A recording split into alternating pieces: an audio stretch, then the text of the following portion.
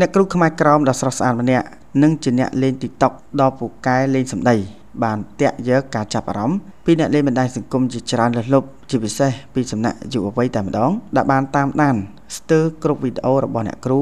ដើម្បីញេះលេងសើចនិងផ្ដោះផ្ដងវាចាសំស្នេហ៍មិនស្ទើរនោះទេ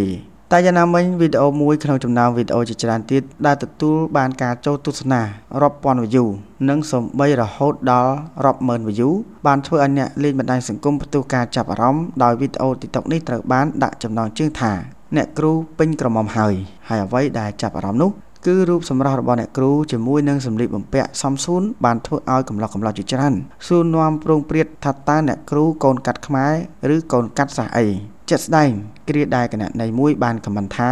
តើអ្នកគ្រូកូនកាត់ឬក៏ខ្មែរសុទ្ធស្រាប់តែអ្នកគ្រូឆ្លើយភ្លាមមិនដឹងជាលេងសើចឬក៏មែនតែនទេ ថាកូនកាត់បង ពុកខ្មែរម៉ែវៀតណាមក្រោយពីបានឃើញអ្នកគ្រូឆ្លើយបែបនេះក៏មានអ្នកតបថា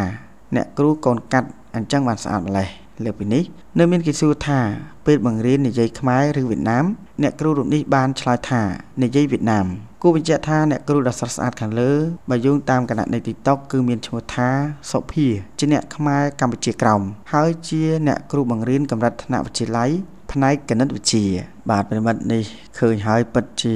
លងយកតែមែនតើណាអ្នកគ្រូម្នាក់ដែលជាកូនកាត់ខ្មែរវៀតណាមហើយជា